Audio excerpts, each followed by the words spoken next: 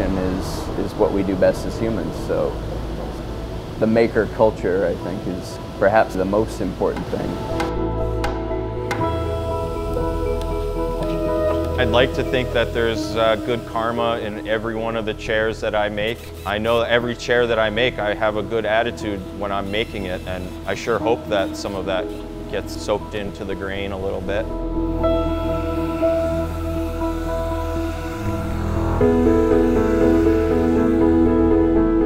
Very best right from the rough mill to match every board so that it's going to have that same grain, same texture, same fullness of color. Depending on the color of the wood that we're using and the type of wood and the different grains, they really bring out those curves and those lines. It's so appealing, makes you need to have it, you know?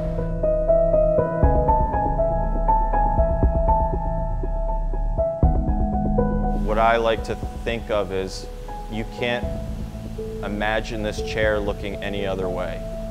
Every chair is going to have its own little spirit. Every chair could be coming from a dozen different trees or more.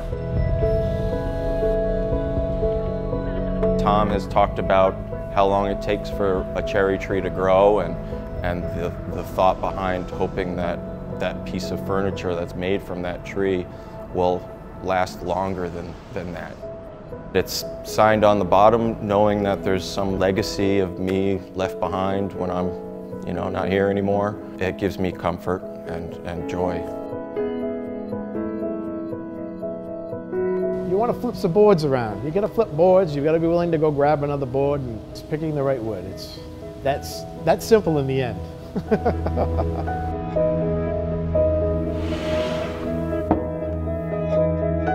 what makes a Moser piece a Moser piece for starters is the design and to pay attention to detail. I think that's that's exceptional. You look at it and you say, I just wouldn't change anything about it. Being happy at what you do is paramount. This job is everything and working with wood is so satisfying. I can't put it into words.